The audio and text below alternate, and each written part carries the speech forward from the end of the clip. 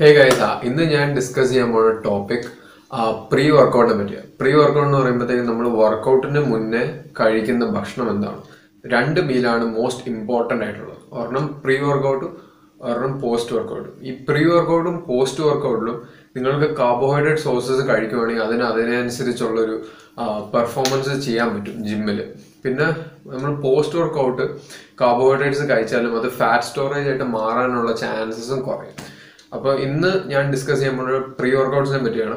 Pre workout എന്താണ് കഴിക്കേണ്ടത് ഞാൻ അടുത്ത വീഡിയോയിൽ പോസ്റ്റ് വർക്കൗട്ടിനെ പറ്റി പറയാം. എന്ത് ഭക്ഷണമാണ് നിങ്ങൾ പോസ്റ്റ് വർക്കൗട്ട് എന്ന് വെച്ചാൽ വർക്കൗട്ടിന് കഴിഞ്ഞതിന് ശേഷം എന്താ കഴിക്കേണ്ടതെന്ന് അടുത്ത വീഡിയോയിൽ പറയാം.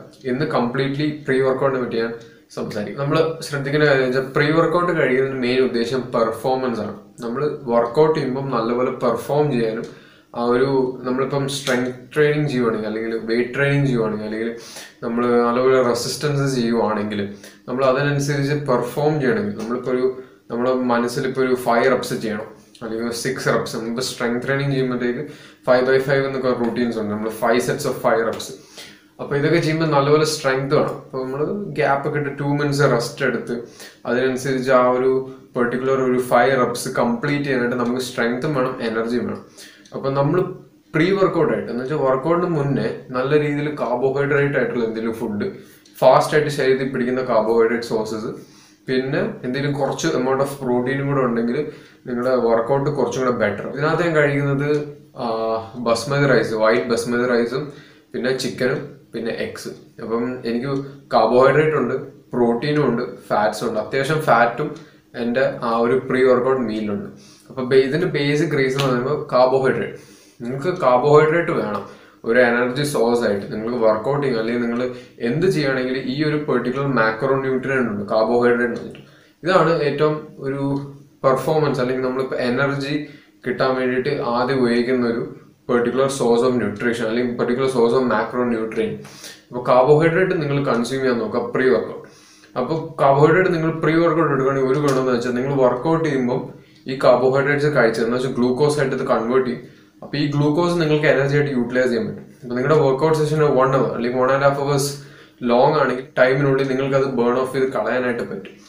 അപ്പോൾ നിങ്ങൾ പ്രീ വർക്കൗട്ട് ഞാനിപ്പോൾ സജസ്റ്റ് ചെയ്യുകയാണെങ്കിൽ ബസ്മതി റൈസ് അല്ലെങ്കിൽ വൈറ്റ് പൊട്ടാറ്റോസ് അല്ലെങ്കിൽ എന്തെങ്കിലും വൈറ്റ് ബ്രെഡോ അല്ലെങ്കിൽ വീറ്റ് ബ്രെഡ് എന്തെങ്കിലും നിങ്ങൾക്ക് ഇഷ്ടമുള്ള ഏതെങ്കിലും ഒരു കാർബോഹൈഡ്രേറ്റ് സോഴ്സസ് അല്ലെങ്കിൽ കപ്പ അല്ലെങ്കിൽ ഇതുപോലത്തെ എന്തെങ്കിലും ഇപ്പം ഓട്സ് ഒന്നും കുടിക്കൽ പ്രീ വർക്കൗട്ട് ഓട്സ് അത്രയും നല്ലതല്ല.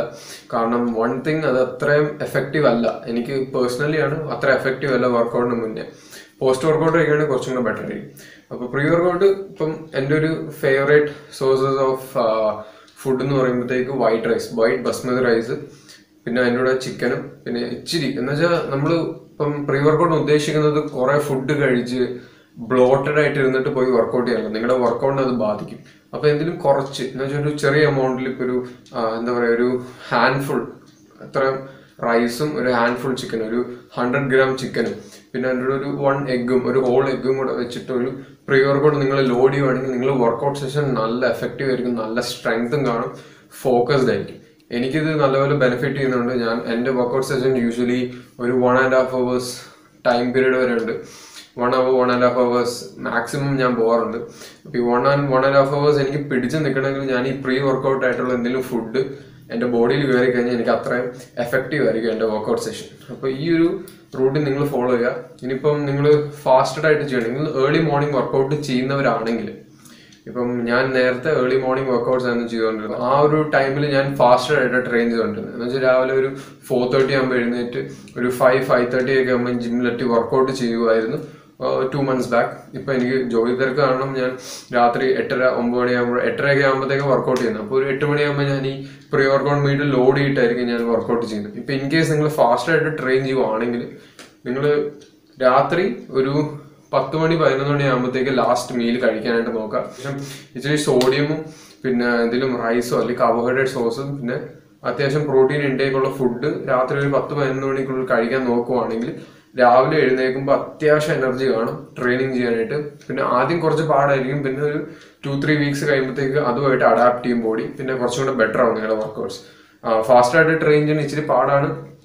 സോ ഇൻ കേസ് നിങ്ങൾ കട്ടിങ് ചെയ്യുകയാണെങ്കിൽ ബോഡി ഫാറ്റ് കുറയ്ക്കാൻ നോക്കുവാണെങ്കിൽ ഫാസ്റ്റായിട്ട് ട്രെയിൻ ചെയ്യുവാണെങ്കിൽ ബി സി ഡബ്ല്യു എസ് എന്നുള്ള സപ്ലിമെന്റ് എടുക്കുവാണെങ്കിൽ it will be much better കാരണം ബി സി ഡബ്ല്യു എസ് നിങ്ങൾ വർക്കൗട്ട് ടൈമിൽ ഒരു ഫ്യൂവലായിട്ട് ഉപയോഗിക്കാം ടു മേക്ക് ഷുവർ നിങ്ങളുടെ വർക്കൗട്ട്സ് കുറച്ചും കൂടെ ബെറ്റർ ആണെങ്കിൽ.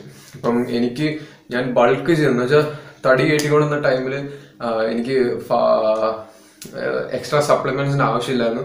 കാരണം ഞാൻ ത്രൂ ഔട്ട് ഒരു ആനബോളിക് സ്റ്റേറ്റിലായിരുന്നു. എന്ന് വെച്ചാൽ കാലറി സർപ്ലസ് എന്ന് വെച്ചാൽ ഫുഡിന്റെ അളവ് കൂട്ടി കഴിക്കുന്നു. അതനുസരിച്ച് വർക്കൗട്ട് ചെയ്യുമ്പോൾ ത്രൂ ഔട്ട് ഞാൻ മസിൽ ബിൽഡിംഗ് ആണ്. എനിക്ക് അത്രയും എക്സ്ട്രാ സപ്ലിമെന്റ്സിന്റെ ആവശ്യമില്ലായിരുന്നു. പക്ഷെ നിങ്ങൾ കട്ടിങ് ചെയ്യുമ്പോഴത്തേക്ക് അത്യാവശ്യം മസിൽ ലോസിന്റെ ഒരു ചാൻസസ് ഉണ്ട്. അപ്പോൾ നിങ്ങൾ ഫാസ്റ്റ് ആയിട്ട് ട്രെയിൻ ചെയ്യുമ്പോഴത്തേക്ക് ആ ഒരു ടൈമിൽ നിങ്ങൾക്കൊരു പ്രോട്ടീൻ സോഴ്സ് അല്ലെങ്കിൽ ബി സി ഡബിൾ എന്ന് പറഞ്ഞാൽ മൂന്ന് ഇമ്പോർട്ടന്റ് ആയിട്ടുള്ള ബ്രാഞ്ച് ചെയിൻ അമീനോ ആസിഡ്സ് ഉണ്ട്. ബേസിക്കലി ലൂസീൻ ഐസോലൂസീൻ വാലിൻ എന്ന് പറഞ്ഞിട്ട് മൂന്ന് ഇമ്പോർട്ടന്റ് ആയിട്ടുള്ള ചെയിൻസ് ഉണ്ട്. അപ്പോൾ ഇത് മൂന്ന് നിങ്ങളുടെ ബോഡിയിൽ കയറും ഇപ്പം നിങ്ങൾ ഒരു വർക്കൗട്ട് ടൈമിൽ ഇത് കുടിക്കുവാണെങ്കിൽ ഇപ്പൊ നിങ്ങൾ ഫാസ്റ്റ് ആയിട്ട് ചെയ്യുവാണെങ്കിൽ ഇതിന് ബെറ്റർ ആണ്. ഇപ്പം നിങ്ങൾ ഫാസ്റ്റ് അല്ല വൈകിട്ട് ചെയ്യുകയാണെങ്കിൽ രാത്രി വർക്കൗട്ട് ചെയ്യുന്ന ഒരു ഇതാണെങ്കിൽ എഗ് എഗ് യോക്കോ അല്ലെങ്കിൽ ചിക്കൻ ഒക്കെ കഴിക്കുമ്പോഴത്തേക്ക് ഇതിനകത്ത് ബി സി ഡബ്ല്യൂസ് നല്ലപോലെ ഉണ്ട്. അപ്പോൾ അത് മാത്രം കഴിച്ചാൽ മതി. എക്സ്ട്രാ ആയിട്ട് ബി സി ഡബ്ല്യൂ എടുത്ത് വേറെ പൈസ കളയേണ്ട ആവശ്യമില്ല. സോ ഇതാണ് ഇന്നത്തെ topic hope you guys enjoy this video ഞാൻ അടുത്ത ടോപ്പിക് പോസ്റ്റ് വർക്കൗട്ട് മീലിനെ വേണ്ടി സംസാരിക്കാം. അപ്പോൾ ഇത് രണ്ട് പാർട്ടായിട്ട് ഞാൻ ഇടാൻ പോവാണ്. പാർട്ട് വൺ പാർട്ട് ടു അപ്പോൾ